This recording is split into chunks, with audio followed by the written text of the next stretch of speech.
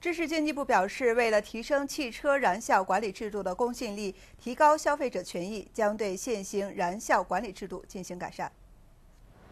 为此，也将进一步加强对汽车生产商自行测定燃效过程与结果的监管制度。此外，还要推行将目前仅为百分之三到四左右的事后管理对象成品车车型，扩大到百分之五到百分之十，在事后检查时所允许的误差从负的百分之五减少到负百分之三的方案。